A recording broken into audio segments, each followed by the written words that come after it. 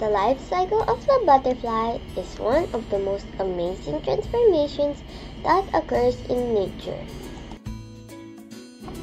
It's fascinating to watch, which makes it a wonderful educational opportunity for kids and adults alike.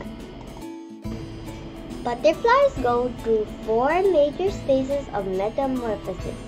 The first stage is the egg. All butterflies start as tiny eggs. Adult butterflies lay eggs on the leaves in small clusters.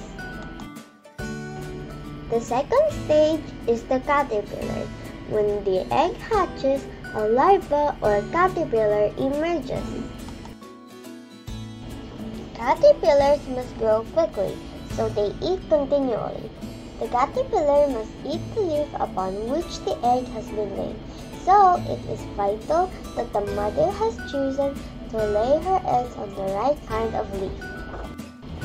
Stage 3 The pupa. When the caterpillar has reached its full size, they form into a chrysalis or a pupa. The transformation over time looks like a change from a resting caterpillar to a shell-like covering. The last stage of the metamorphosis is the adult.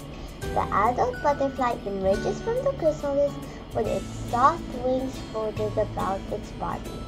Adult butterflies are constantly seeking to reproduce, and a fertilized female will find the proper type of leaf to lay eggs on and start the life cycle over again.